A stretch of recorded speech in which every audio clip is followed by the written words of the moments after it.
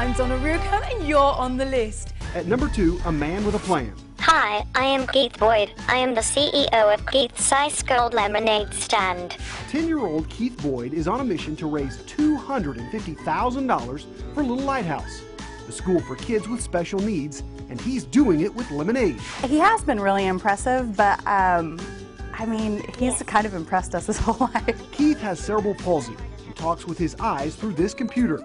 Business plan in hand, he's getting help from Thrive. And we're all teaming up to be kind of like the hands for his brain. And Chick fil A, who was able to get all the lemons for this handmade juice donated. About 16,000 lemons we're going to squeeze in this summer. Now you're caught up and clued in around Tulsa. I'm Shaq Shackelford.